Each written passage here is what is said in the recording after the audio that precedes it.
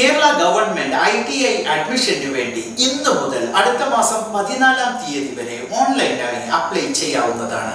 അതായത് twenty six August twenty twenty one to fourteenth September twenty twenty one my name Rafeeq Abdulla welcome to meadows media നൂറ്റിനാല് government I T ഐകളിലേക്കാണ് അപേക്ഷകൾ ക്ഷണിച്ചിരിക്കുന്നത്.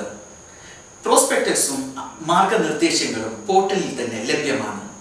പോർട്ടലിൽ തന്നെ application form fill ചെയ്ത് application ഫീസായ hundred rupees ഓൺലൈനായി അടച്ച് കേരളത്തിലെ ഏത് ഐ ടി ഐകളിലും നമുക്ക് അപ്ലൈ ചെയ്യാം. നിശ്ചിത ഡേറ്റിൽ തന്നെ ഓരോ ഐ ടി ഐയുടെയും റാങ്ക് ലിസ്റ്റ് അഡ്മിഷൻ ഡേറ്റ് എന്നിവ പബ്ലിഷ് ചെയ്യും.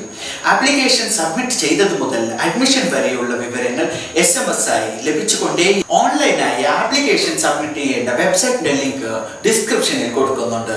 കൂടുതൽ വിവരങ്ങൾക്ക് വെബ്സൈറ്റ് സന്ദർശിക്കുക. Thank you for watching